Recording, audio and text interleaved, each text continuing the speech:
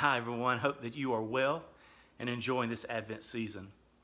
Well, I've got some great news for you.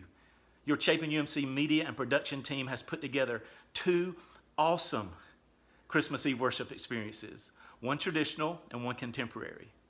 Now, most of us, if not all of us, know the Christmas story, but could it be that we've missed the real message of the story? It's a bold, life changing message, a message that can be summarized in just two words so, in a year like we've never seen before, God has inspired these services which are unlike any you've ever seen before.